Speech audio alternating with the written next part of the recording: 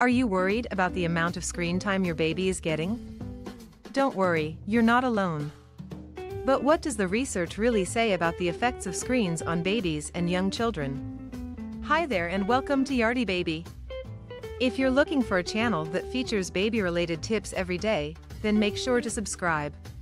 It's hard to avoid screens these days, especially when it comes to entertaining our little ones. But as a parent, it's natural to have concerns about the impact of screens on our baby's development. In this video, we'll explore the truth about screen time and babies, and provide some practical tips on how to balance screen time with other activities. Many parents worry that screens will harm their baby's brain development or lead to developmental delays. However, research has shown that while screens should not be a baby's primary source of stimulation, they can actually have some educational benefits when used in moderation. In fact, a recent study found that when used appropriately, educational apps can enhance a child's vocabulary and numeracy skills. The American Academy of Pediatrics recommends limiting screen time for children under 18 months to none at all, and for children 18 to 24 months, limited to high-quality programming with a parent present. For children 2 to 5 years old, the recommendation is for a maximum of one hour of screen time per day. These guidelines are based on the fact that young children learn best through hands-on, interactive play, and that excessive screen time can interfere with their development. It's important to remember that screens should not be a replacement for real-world play and interactions with caregivers, which are crucial for a child's development. Face-to-face interactions, physical play, and exploration of the environment are essential for brain development and learning.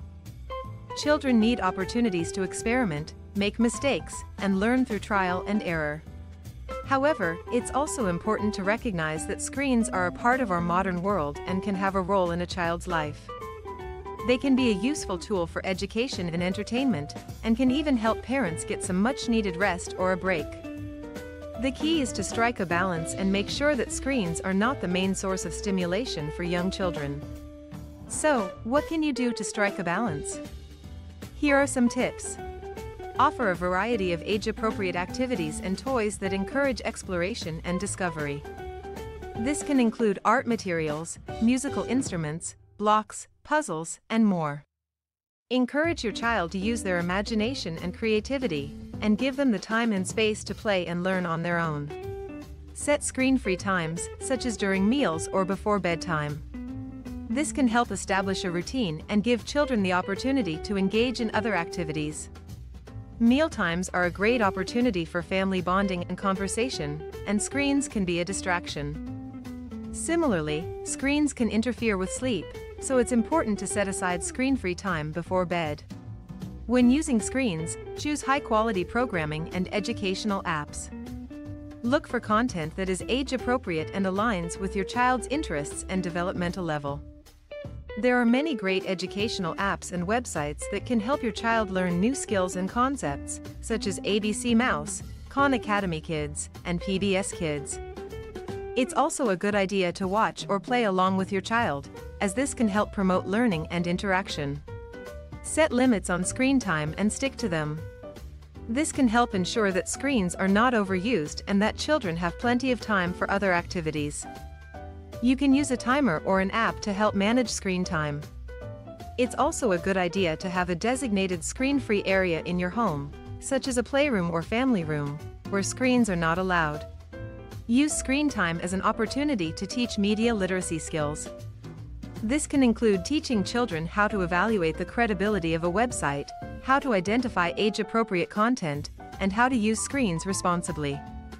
It's important to teach children how to be savvy media consumers and to think critically about the information they encounter online.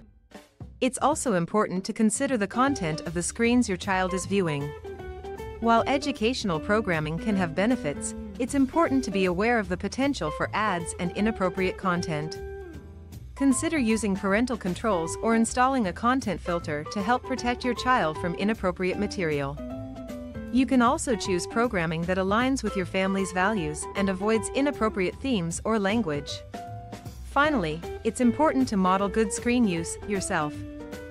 Children learn by example, so if you're constantly on your phone or other screens, they may follow suit. Make sure to set aside screen-free time for yourself as well, and show your child that there are other activities to enjoy. Read a book, take a walk, or have a family game night. Balancing screen time with other activities is important for a child's development. By following the recommendations of the American Academy of Pediatrics and using screens in moderation, you can help ensure that screens are a positive and enriching part of your child's life. Thanks for watching, and don't forget to subscribe to Yardie Baby for more baby-related tips every day.